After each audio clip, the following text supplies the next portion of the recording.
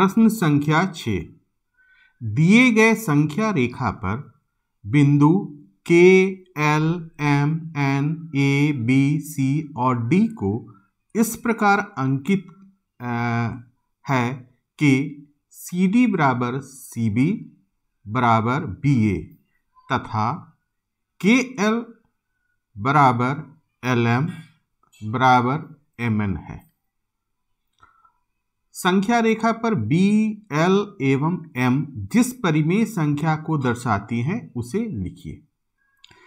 यहाँ हमें एक संख्या रेखा दी गई है, जिसमें ये बिंदु हैं ए बी सी डी और के एल एम एन इसे हमें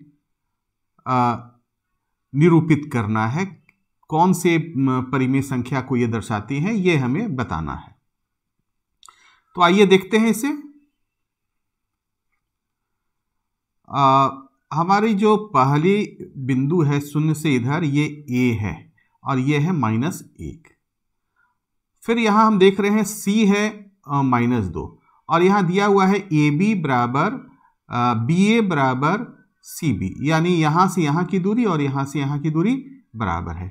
अर्थात ये वाली जो बी बिंदु है ए और सी के बीच में है, अर्थात आधी है। तो ये माइनस एक और माइनस दो के बीच आधी है, ठीक है? तो ये बिंदु क्या होगी? पहले तो माइनस वन यहाँ तक हो गई, उसके बाद ये आधी, यानी बी बिंदु जो है, वो है माइनस वन, और फिर इसमें हम जोड़ दे रहे हैं माइनस एक बटा दो। माइनस वन है और फिर ये आधी है, ठीक है? तो ये कौन सी बिंदु हो गई? देखते हैं। माइनस एक ये प्लस माइनस माइनस एक बटा दो। तो ये लसा दो हो गया ये माइनस दो माइनस वन तो ये माइनस तीन बटा दो आ गया। देखिए बी बिंदु हमारा हो गया माइनस तीन बटा दो। ठीक इसी तरह से हम डी बिंदु को देखते हैं। तो ये माइनस दो और माइनस तीन के बीच में है यानी ये आ, आधी है। यहाँ से अगर दो के बाद हम देखें तो ये आधी है ये, और पहले से ये माइनस दो है। तो ये बिंदु हमारी होगी माइनस दो और जोड़, और ये आधी। तो ये हो गई माइनस दो प्लस माइनस माइनस एक बटा दो। तो इसका लॉस दो हो गया, माइनस चार, माइनस एक, माइनस पाँच बटा दो। तो ये वाली बिंदु भी हमारी आ गई। माइनस पाँच बटे दो। अब इस तरह हम देखते हैं ज़ीरो की दाहिनी ओर। यहाँ है के और ये एन ये दो है और ये तीन है। और तो हम क्या देख रहे हैं कि दो से तीन के बीच की जो दूरी है, इसे तीन बराबर भागों में बांट दिया गया है। तो यहाँ से यहाँ की दूरी कितनी होगी? एक बटा तीन। यहाँ से यहाँ की दूरी क्या होगी? ये भी एक बटा तीन होगी, और यहाँ से यहाँ की दूरी भी एक बटा तीन होगी। तो ये वाली हमारी बिंदु क्या हो जाएगी? एल तो एल हो जाएगी दो जोड़ एक बटा तीन, है ना? यहाँ से यहाँ एक ही, एक बटा तीन है, और यहाँ से अगर इसको हम एम को देखें तो ये दो बटा तीन है है ना? तो ये कौन सी बिंदु हो गई? तीन तीन दूनी छ और एक।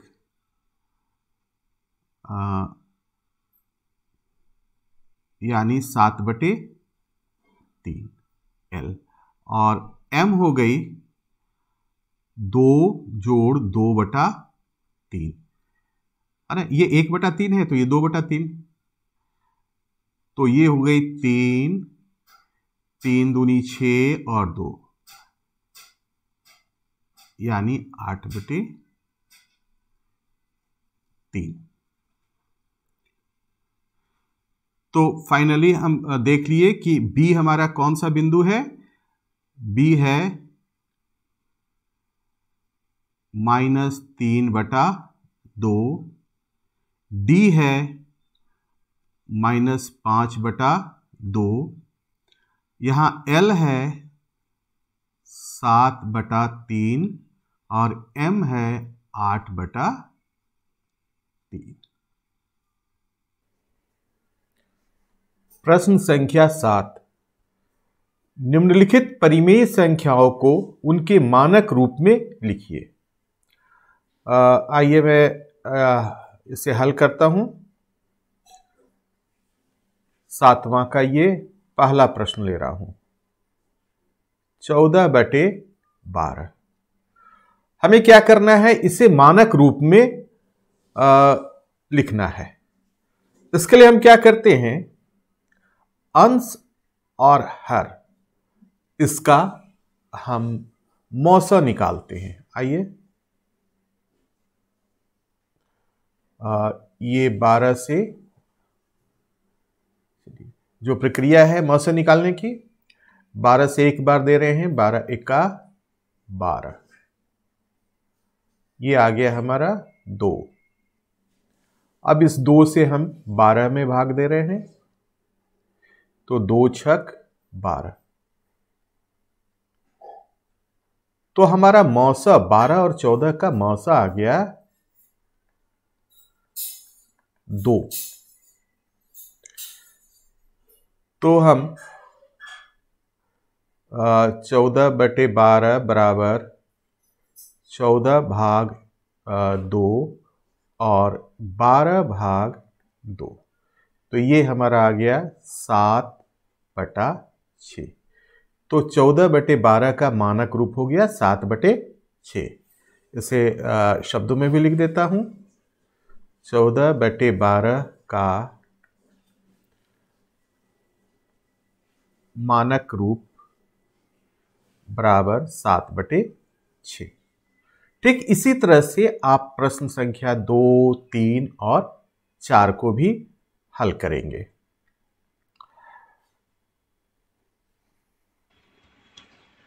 प्रश्न संख्या आठ।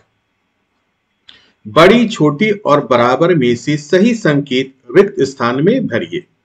आइए से हल करते हैं। प्रश्न संख्या आठ का पहला। यहाँ पहला है चार बटे छ फिर बॉक्स है इसमें भरना है हमें संकेत सात बटे नौ। तो हमें जानना है कि ये परिवेश जो दोनों संख्याएँ हैं इसमें कौन बड़ी है कौन छोटी है या दोनों बराबर है? तो इसके लिए हमें इनके जो हर है उन्हें समान करना होगा पहले। तो हर समान करने के लिए हमें आ, इन दोनों हरों का छ और नौ का हमें लौसा निकालना होगा। आइए लौसा निकालते हैं। छ और नौ का छ नौ। तो इसमें तीन से भाग जाएगा, तीन दूनी छ तीन तिहाई, नौ। तो लौसा हो जाएगा, तीन गुना दो गुना तीन, अर्थात तीन दूनी छ तिहाई अठारह अब हम यहाँ क्या करते हैं? चार बटा छ बराबर, चार बटा छ गुना। अब छ से किस संख्या को गुना करें? छ का छ का किस संख्या से गुना करें कि अट्ठारह हो जाए? तो ये तीन है तो ये हो जाएगा बारह बटे अट्ठारह। अब है सात बटे नौ को भी ऐसा ही करेंगे, सात बटे नौ, और हम देख रहे हैं नौ का दो से गुना करेंगे तो अट्ठारह हो जाएगा तो इसे सात बटे नौ को दो बटे दो से हम गुना करते हैं। तो ये हो जा रहा है चौदह बटे अट्ठारह। तो यहाँ देख रहे हैं कि दोनों का हर समान है। जब हर समान है तो हम अंश को देखेंगे कि कौन बड़ी है कौन छोटी है। तो यहाँ देख रहे हैं ये बारह है ये चौदह है। अर्थात ये चौदह बटे अठारह बारह बटे अठारह से बड़ी है। इसका अर्थ है कि सात बटे नौ बड़ी है चार बटे छ छोटी है। तो इसमें हम इस तरह का चिन्ह लगाते हैं। आ, इसे हम पढ़ सकते हैं। चार बटे छ छोटी है सात बटे नौ बड़ी है। अब प्रश्न संख्या दो देखते हैं। यहाँ है माइनस तीन बटे चार और बॉक्स है माइनस चार बटे सात। ठीक इसी तरह से पहले प्रश्न की तरह यहाँ भी हम हर को समान करेंगे। तो माइनस तीन बटे चार बराबर माइनस तीन बटे चार और इन दोनों का लस हम चार और सात का निकालेंगे तो अट्ठाईस आएगा। आप खुद से करके देख लेंगे। तो हम चार को सात से गुना करेंगे तो ये अट्ठाईस होगी। तो ये हम गुना करेंगे सात बटे सात से। तो ये हो गया माइनस इक्कीस बटे अट्ठाईस। इसी तरह से माइनस चार बटे सात। तो माइनस चार बटे सात को हम गुना करेंगे चार बटे चार से। तो ये हो गया माइनस सोलह बटे अट्ठाईस। दोनों के हर समान हो गए। तो हम देख रहे हैं माइनस इक्कीस छोटी है और माइनस सोलह बड़ी है। तो इसका अर्थ है कि माइनस चार बटे सात बड़ी है और माइनस तीन बटे चार छोटी है। तो इसमें भी इसी तरह का चिन्ह होगा ये। माइनस तीन बटे चार छोटी है, माइनस चार बटे सात बड़ी है। अब एक और तीसरा नंबर देखते हैं। प्रश्न संख्या तीन।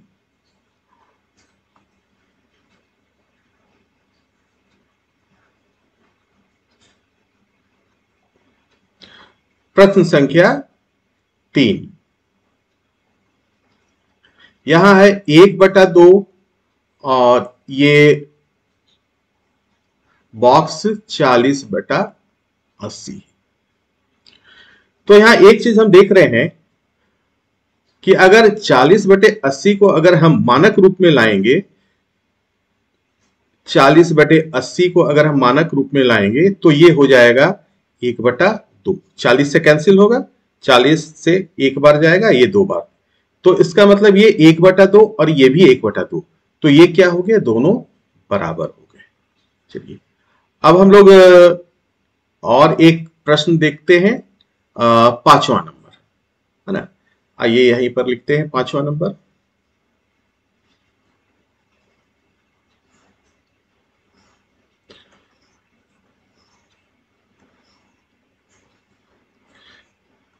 प्रश्न संख्या पाँच। ये है शून्य और ये है माइनस दो बटे सात। तो ये शून्य है और ये है ऋणात्मक। तो हम लोग जानते हैं कि ऋणात्मक संख्याएँ शून्य से छोटी होती है और शून्य बड़ी होती है तो यहाँ हमारा चिन्ह इस तरह का होगा। और ये पाँच बटे ग्यारह और माइनस पाँच बटे ग्यारह यहाँ भी देख लेते हैं। तो यहाँ क्या है कि ये धनात्मक है और ये ऋणात्मक है। तो धनात्मक संख्याएँ हमेशा ऋणात्मक से बड़ी होती है। तो ये हमारा ये हो गया। आ, यहाँ तो ये हो गया। ये हमने देखा था ये माइनस तीन बटे माइनस सात और तीन बटे सात। तो ये दोनों बराबर ही है। क्योंकि ये माइनस दोनों ऊपर नीचे है ये कैंसिल हो गई। तो ये हो गया बराबर ये भी बराबर। दो वाले में हमने क्या देखा था? कौन सी बड़ी थी?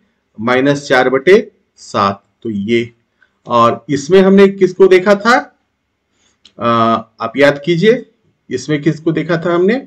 आ, चार बटे छ और सात बटे नौ में आ, ये था ये बड़ा था सात बटे नौ। है ना? यही बड़ा था।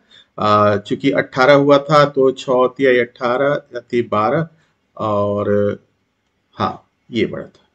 तो ये प्रश्न हमारा पूरा हल हो गया है।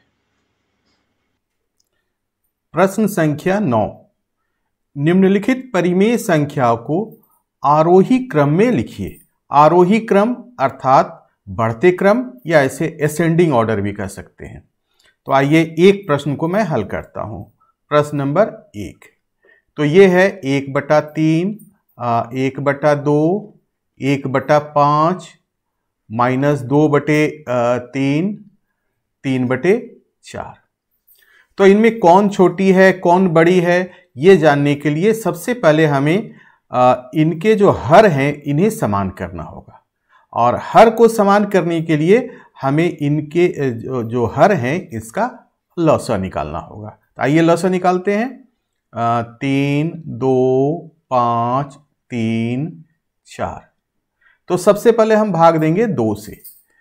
तो इस तीन में नहीं गया, यूँ ही उतर गया, दो एका दो, ये फिर पाँच उतर गया, ये फिर तीन उतर गया, दो दुनी चार। इस बार हम देते हैं तीन से भाग। तीन एका तीन, ये एक हो गया, ये पाँच रह गया, तीन एका तीन और ये दो। अब और कोई ऐसी दो संख्या नहीं है जिसमें भाग लग सके। तो हमारा लौसा हो गया यानी एलसीएम दो गुना तीन गुना पाँच गुना दो।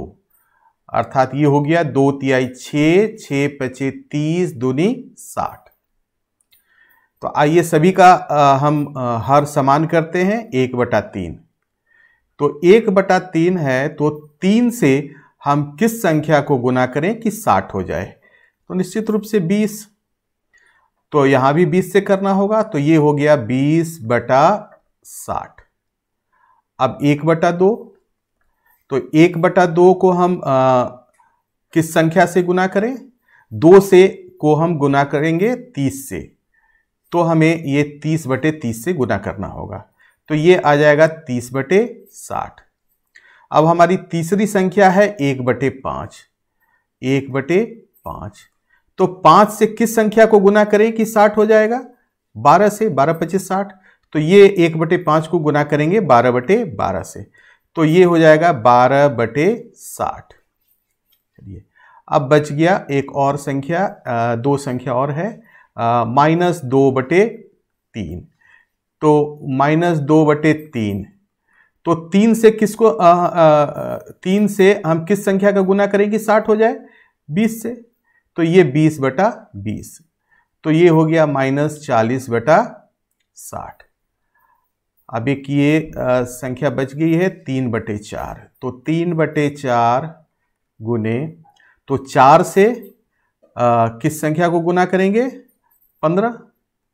चार से पंद्रह करेंगे तो साठ हो जाएगा तो ये पंद्रह बटे पंद्रह तो पंद्रह तीय पैंतालीस बटे साठ। तो हम देख रहे हैं कि इन सभी परिमेय संख्याओं का आ, इन सभी परिमेय संख्याओं का हर समान हो गया साठ। तो आप देखेंगे कि कौन इसमें से सबसे छोटी है।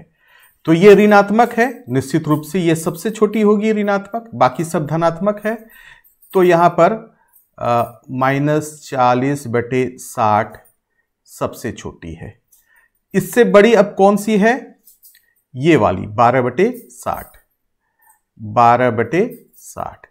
अब इससे बड़ी इससे बड़ी है ये बीस बटे साठ। बीस बटे साठ। और इससे बड़ी कौन सी है? आ, ये तीस बटे साठ। तीस बटे साठ। और इससे बड़ी कौन सी है? ये पैंतालीस बटे साठ। ये लस को हम यहाँ से मिटा दे रहे हैं।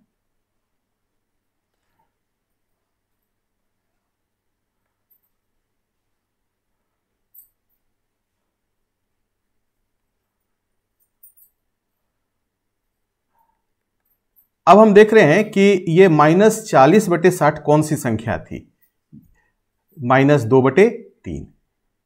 तो माइनस दो बटे तीन, इससे बड़ी ये बारह बटे साठ थी ये कौन से है? एक बटे पाँच। अब इससे बड़ी थी बीस बटे साठ, यानी ये ये ये वाली, एक बटे तीन, एक बटे तीन। और इससे बाद थी तीस बटे साठ, ये एक बटा दो। और इससे बड़ी थी ये तीन बटे चार। तो ये हमारा आरोही क्रम में सज गया। सबसे छोटी है माइनस दो बटे तीन, उसके बाद एक बटे पाँच, उससे बड़ी उससे बड़ी एक बटे तीन, उससे बड़ी एक बटे दो, और सबसे बड़ी तीन बटे चार। इसे शब्दों में भी लिख सकते हैं। आरोही क्रम। आरोही क्रम।